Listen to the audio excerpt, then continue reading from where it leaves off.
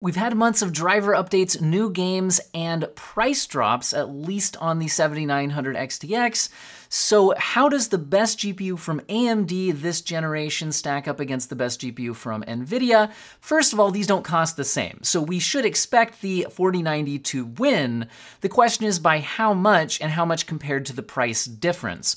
The closer price competitor to the 7900 XTX is the 4080, and I've done a similar head-to-head -head comparison of what I'm showing you now for that already, but this time we're looking at the 7900 XTX. Now, in the current market, if I look at PC part picker and sort prices low to high, for some reason an RTX 2060 shows up. But past that point, we see some actual 7900 XTX. Uh, looks like you can get the Power Color Hellhound right now for $930. I will mention that just recently, uh, I posted some uh, coupon codes on Amazon that was bringing some models of the 7900 XTX down to below $900. However, those coupon codes seem to have expired, at least for now. Uh, but I did want to point out that we have seen these come down below $900. Um, however, again, right now looks like you get the Power Color Hellhound for 930 is the lowest model. Uh, some other good uh, cooler models here, like the, the Merc for 950, um, some other 950 models. Um, uh, even the Red Devil, which is one of the top end coolers at 980 below the original MSRP of 1000. And speaking of the Power Color Red Devil, now let me show you something really cool from today's sponsor, Power Color with their Red Devil GPUs with their swappable Devil Skin backplates. It's so cool not to have to be locked into just one design. You can choose the one that fits best for you, easily swappable with magnets. We've got the uh, intrusive Devil Skin, which is the kind of the simpler, sleeker looking one, and we've got the mesh design uh, called the generative devil skin. These are all really cool. They just attach on with magnets. Excellent choice for a high-end GPU. Check the link in the today's description. All right, so we've seen that the 7900 XTX is well below its original MSRP of $1,000, although still hanging out usually above $900. What about the RTX 4090? The RTX 4090 uh, had an MSRP of $1,600. I have seen it come down a bit at times. Looks like the cheapest model uh, I'm finding right now is $1,585. So it's still very close to that original MSRP. So that is a massive price difference and um, so we need to keep that in mind as we're uh, doing the comparison here. Now, also keep in mind the models that I'm using here. Um, I had to buy an RTX 4090 when they launched. This was before I was getting uh, review samples. So mine is the uh, Gigabyte Gaming OC, which was just the only one I could buy at launch uh, before they sold out. I had to click very quickly because unlike a lot of the lower end 40 series cards, the 4090s were selling out on launch day. Um, and then the 7900 XTX, I did get a review sample from AMD, which means it is the reference model. So if you did buy one of those higher end cooler models, like maybe you have the Red Devil from Power Color, you might notice that you will probably get boosts a bit higher than me. You could get a few percent higher results. Also, I'm running both cards at their out of the box settings. Uh, and the 7900 XTX, again, especially if you have one of the higher end cooler models, could be overclocked and close some of this gap, although it still isn't going to catch the 4090. So just do keep in mind uh, that I do have a cooler model advantage here on my 4090. And if you want to say I'm biased, I'm to say, I'll hey, if you want to send me a higher end uh, 7900 XTX to test, uh, I'll gladly test it next time I do the comparison. anyway, let's jump into the uh, head-to-heads, and I'll give you some final thoughts at the end. So many new games will be coming out in Unreal Engine 5. We'll begin our testing here with the first third-party game available in Unreal Engine 5, which is Layers of Fear. We're looking at 4K high. High is the highest preset in the game. This game features the Lumen lighting system, but not some other features like Nanite. This is probably not as demanding as some games will be. The 4090 is 43% faster here on average, but the 7900 XTX is going over 60 frames per second, and you can hardware accelerate Lumen with hardware ray tracing, and that's what we're looking at next, and the 4090's lead grows to 49% on the averages. Uh, but the 7900 XTX is still averaging over 60 FPS at 4K resolution. It's just that the 4090 is closing in on almost 100 FPS at the same settings. If we drop the settings down to 1440p, the lead for the 4090 does decrease to 31% on average and 30% in the 1% lows, Both GPUs here are delivering an excellent experience. Uh, we're over, uh, you know, over 130, almost 140 average on the 7900 XTX, and closing in on 180 average on the 4090. What if we turn on ray tracing? Well, again, this is a fairly light ray tracing workload. It does not punish the AMD GPU that badly, but again, it does take a bigger hit compared to the 4090.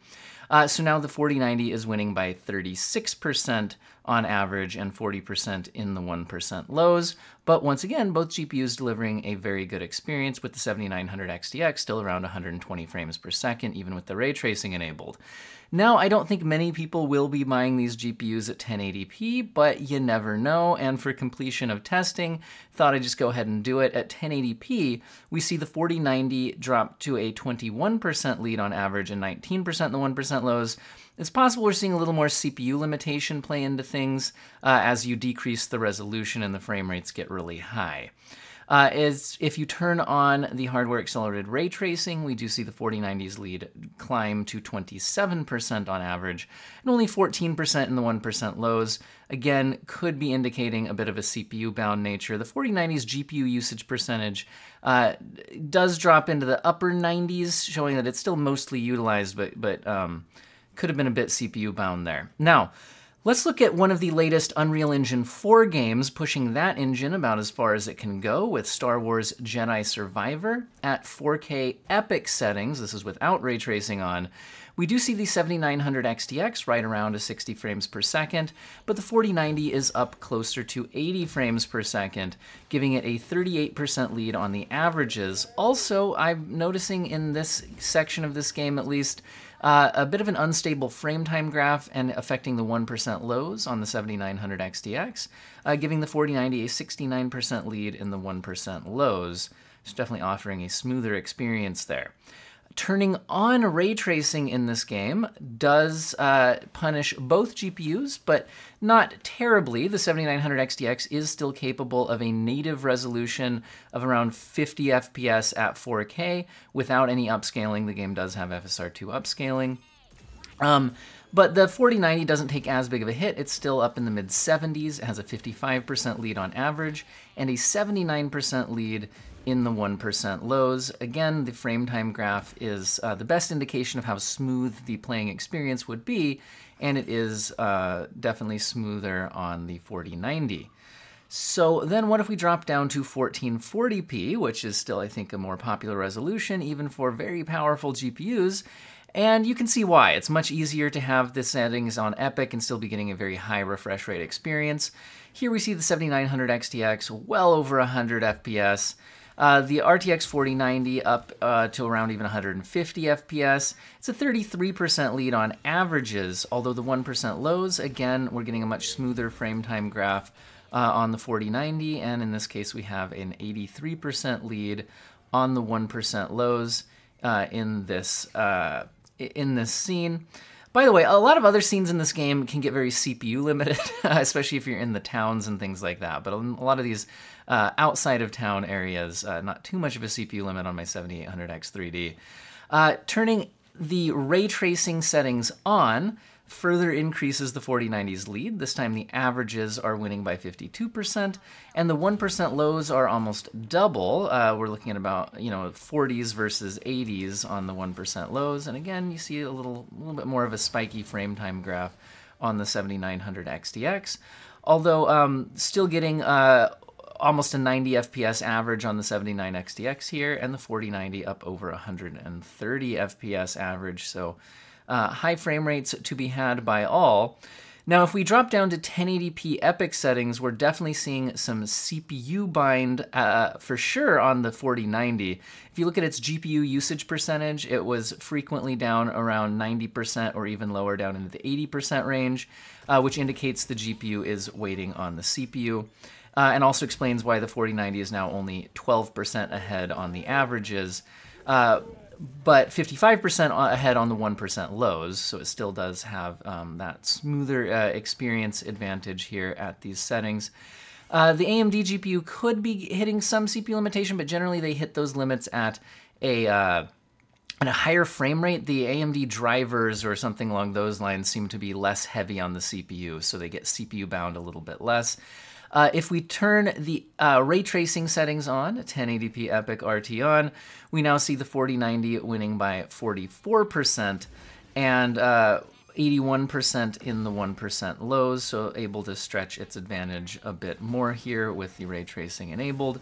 Uh, back to more similar to what we were seeing at the higher resolution settings.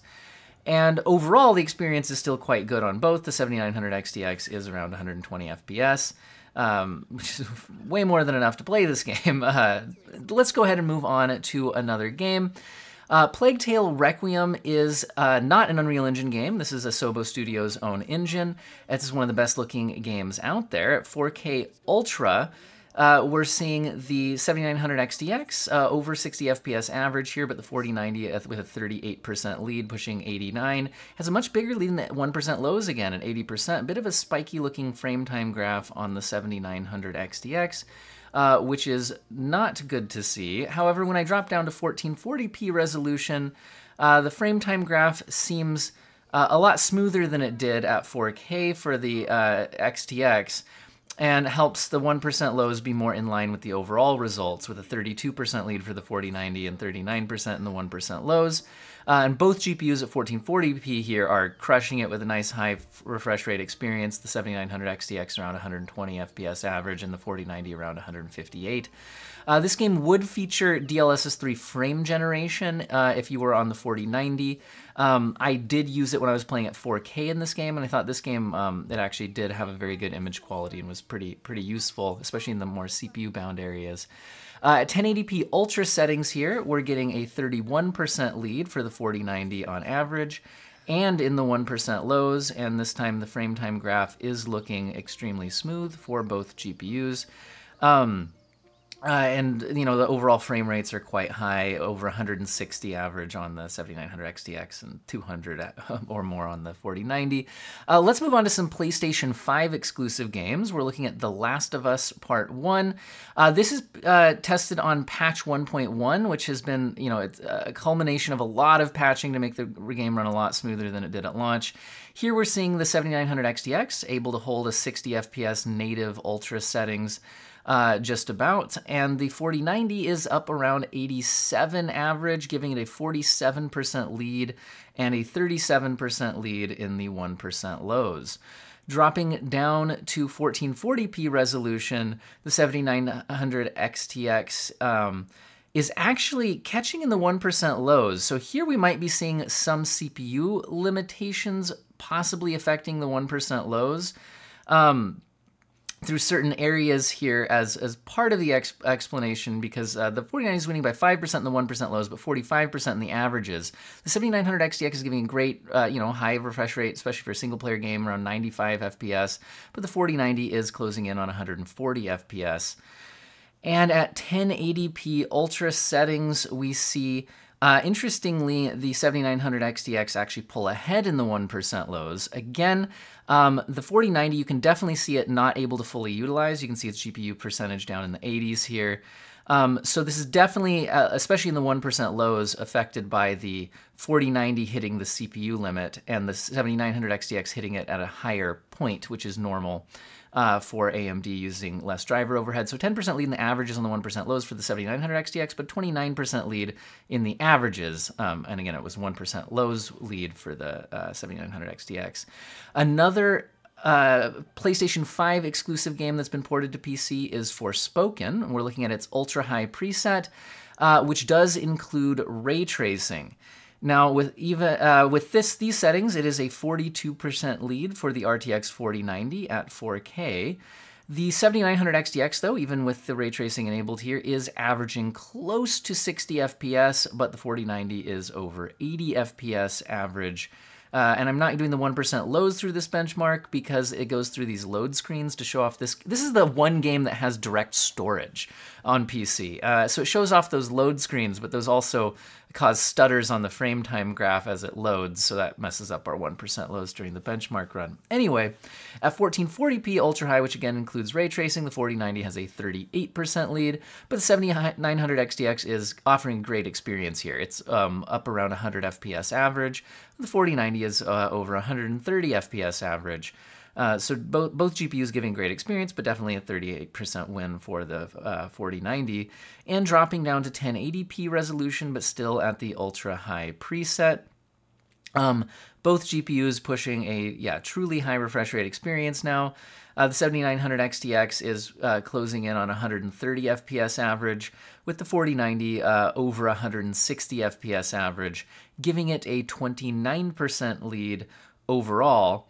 Uh, and again, when you start pushing into these really high refresh rate uh, numbers, it's possible that you can get a little bit of CPU limitation, uh, especially on the uh, NVIDIA GPUs, um, bringing down the results at the lower resolutions. Now, if we go to uh, one more PlayStation 5 exclusive, we can look at Returnal, which has also been ported to PC. I'm using the 4K Epic preset. This game does feature ray tracing, but I do not have it enabled here. It's not part of the Epic preset.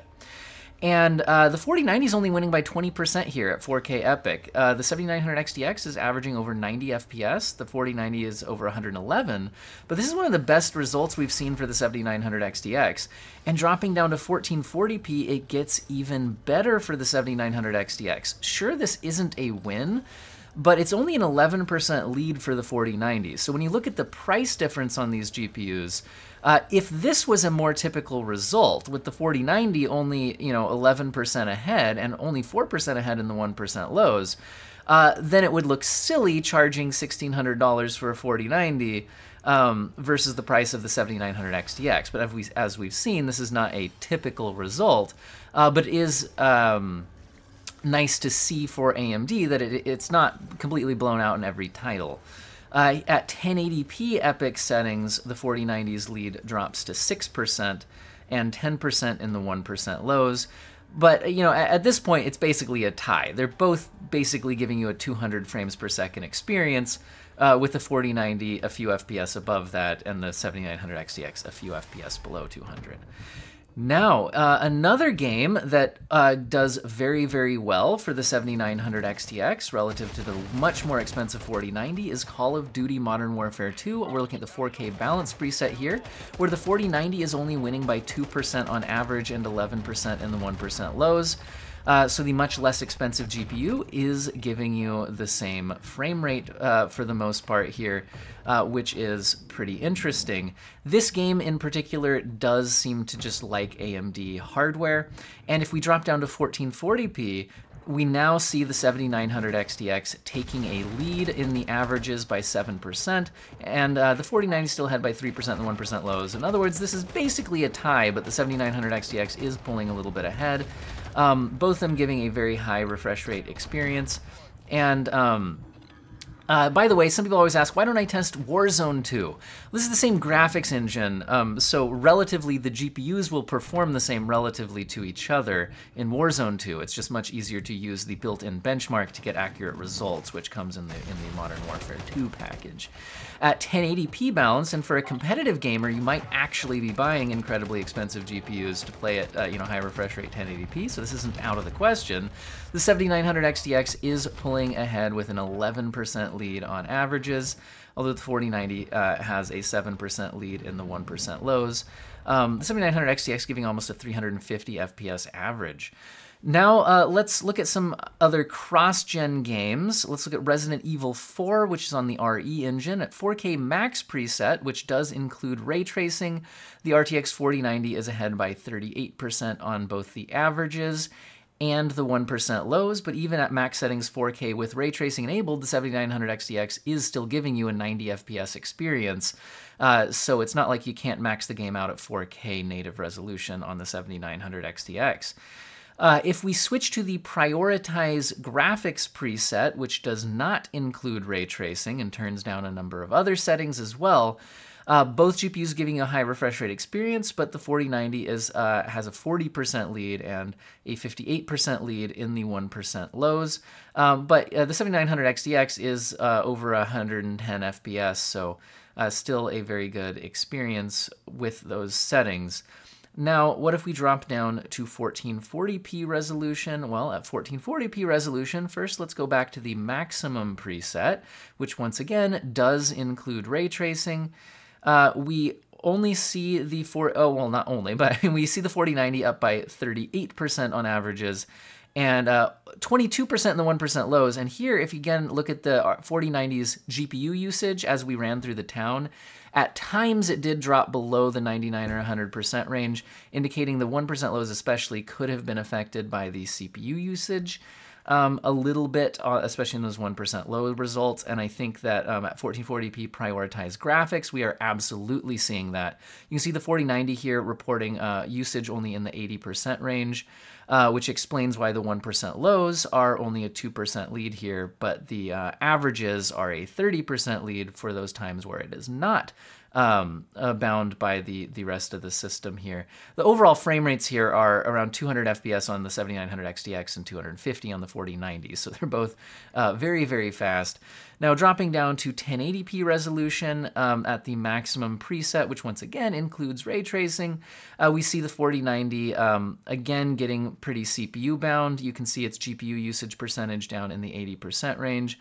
Uh, the 4090 is up by 25% on the averages and only 7% in the 1% lows. But again, it's just that we're hitting such uh, high frame rates here, and ray tracing does increase the CPU load uh, and, and, all of that, that I think we're hitting a, a, CPU limit on a lot of this. And especially when we hit the uh, prioritized graphics preset at 1080p, we're now getting very high frame rates, and the 4090 is uh, GPU usage is reporting down into the 70s now. Uh, and it's uh, only giving us a 12% lead on average FPS. And the 7900 XTX actually has a 3% lead now in the 1% lows, which is basically a tie. They're both over 250 FPS uh, on averages and over 200 in the 1% lows. Um, but yeah, we're definitely seeing some CPU limitation there at 1080p. Cyberpunk 2077 at 4K Ultra uh, sees the 4090 with um, only, uh, you know, I do say only, but you know, compared to our other results, this is a bit lower than what we saw in a lot of other games at 4K max. Uh, the 4090 is up by 26% on the averages and 25% in the 1% lows. The 7900 XTX is averaging in the mid 60s, and the 4090 is averaging over 80 frames per second. So it is a meaningful win. I just mean, like, compared to what we've seen in some other games, uh, we're not seeing as big of a lead in Cyberpunk at Ultra preset as we did in some others. Uh, at uh, 1440p Ultra, we see the 4090 only winning by 19%, so it drops even a bit further at 1440p. Uh, you can occasionally see a little bit of CPU limitation here, like as we go through the city section, so that could be playing into it a bit. Uh, we see a 12% lead in the 1% lows, both of them giving a high refresh rate experience here uh, with over 130 FPS on the 7900 XTX and even higher on the 4090. But I really wanted to use Cyberpunk as a heavy ray tracing workload.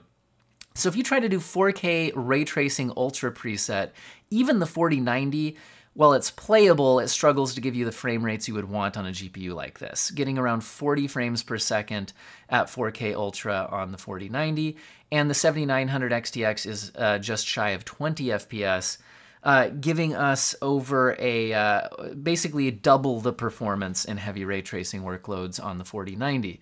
Now at 4K resolution, ray tracing is going to be difficult for any GPU, like I said, including the RTX 4090, so you might want to use upscaling, and also some games, but not all, uh, but Cyberpunk does feature frame generation as well.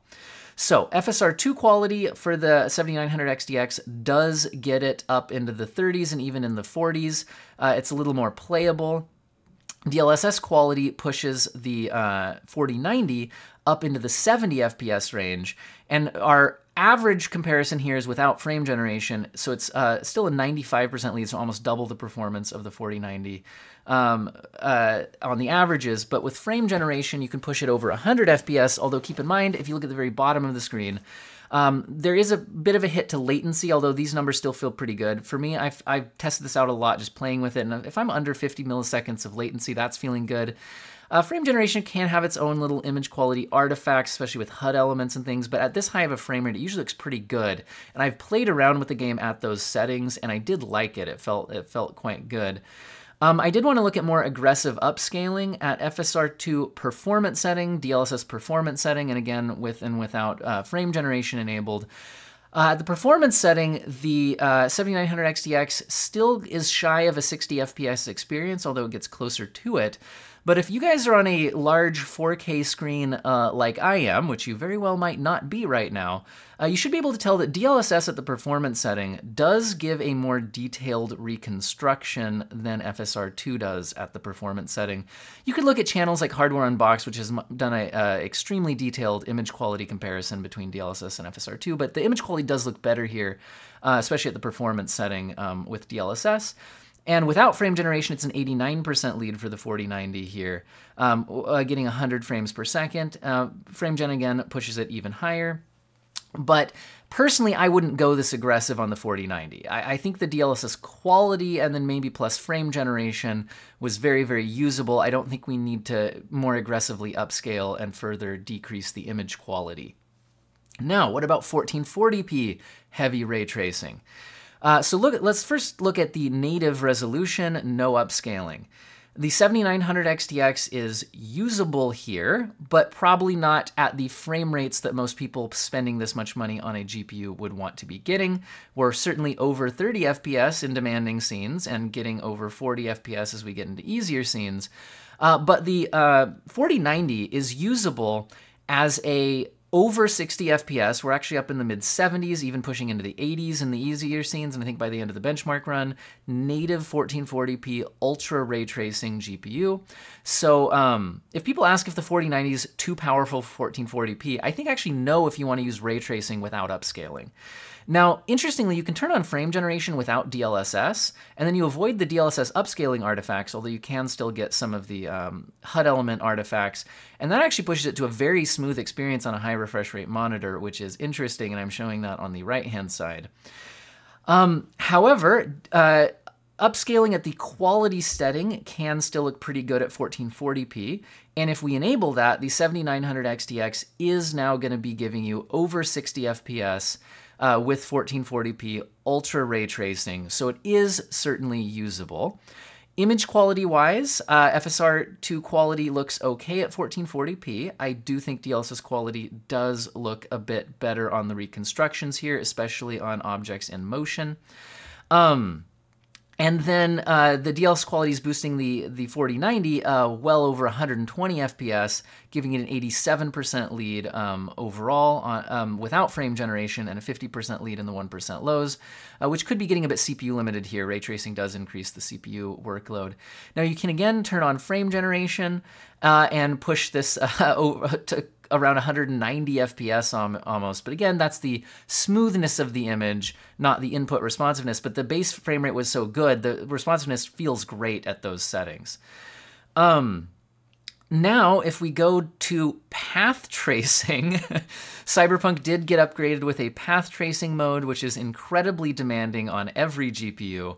Uh, it's really not uh, i mean i don't think it's optimized at all for amd for one thing but uh, again i just don't think that hardware is also trying to deliver this level of rt performance. So the 7900 xtx is really not usable even with the uh, quality upscaling uh, with path tracing at 1440p this is the rt overdrive mode uh, with DLSS quality, so this does require some upscaling, the 4090 can give you over 70 FPS average, so a very usable experience at 1440p, even with the path tracing mode enabled. Um, and then again, you can put frame generation on past that to smooth out the image on a high refresh rate monitor. Again, not helping your input responsiveness, but uh, again, it's still under the 50 millisecond mark, which was kind of my personal line here. So I think it still feels and looks very good with frame gen enabled, and this is an interesting way to play the game on the 4090. So let's do some analysis with division. If we take the MSRPs of these graphics cards at 1599 divided by 999, we see that the at original launch MSRP prices, the RTX 4090 was 60% more expensive than the 7900 XTX. Uh, using the PC Part Picker lowest price available new as of today, as I showed you at the beginning of the video, uh, we saw the 4090 today would cost me 1585 if I bought the cheapest model and 930 on AMD if I bought the cheapest model.